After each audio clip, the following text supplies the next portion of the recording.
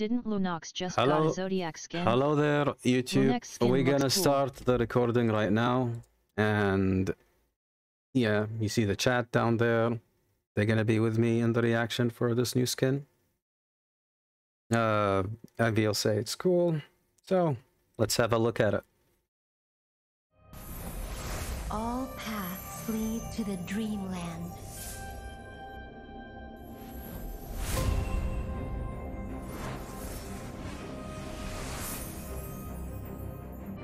Lunox, oh, redemption. Oh, this looks nice. Okay. That uh, pink berry coloring, same thing with Hayabusa. I get it.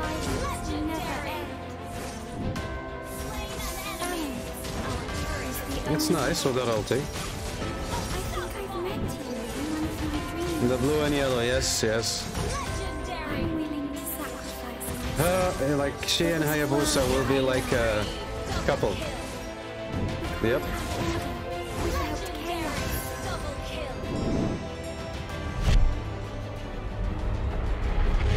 It actually looks nice. It fits her.